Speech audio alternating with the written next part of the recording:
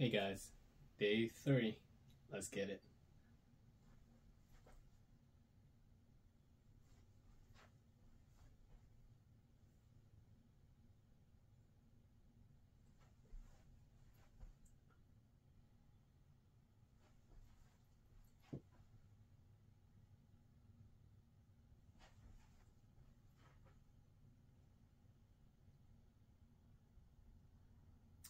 There we have it, guys. Thank you for watching.